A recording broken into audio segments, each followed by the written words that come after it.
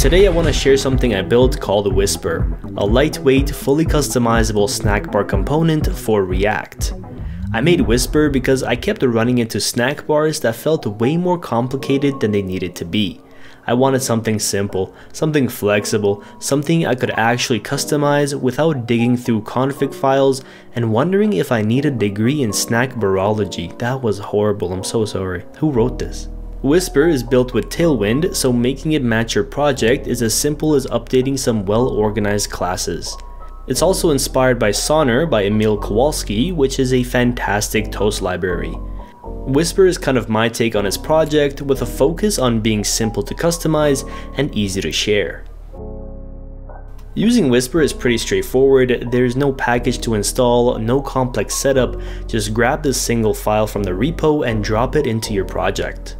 Well, technically, you'll still have to install the dependencies, but you know, tomato tomato.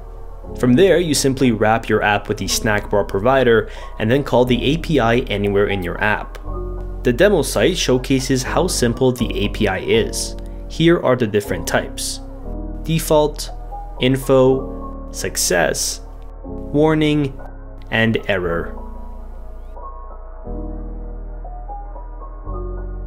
And if things get out of hand, you can always clear them all out with snackbar.clear. You can also customize each snack with the available options.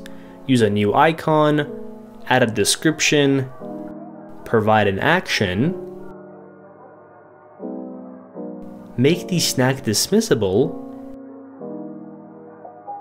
and modify the duration.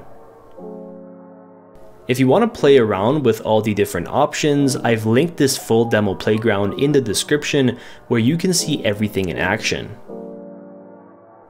So what exactly does Whisper give you out of the box? Well... An instant, intuitive API, multiple notification types, flexible positioning, auto and manual dismissal, action buttons, and custom description and icon support. And that's Whisper, a lightweight, fully customizable snack bar you can drop into your project without overthinking. A simple API, Tailwind styling, no extra setup, just a straightforward, flexible way to handle notifications. If you want to check it out, the repo is linked below. There's also a live demo you can play around with to see how it works before adding it to your project. And hey, if you end up using Whisper, feel free to start the repo and send feedback my way.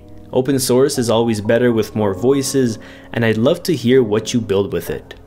Thank you so much for watching. I hope Whisper makes your next project just a little bit better. Don't forget to like this video and subscribe for more.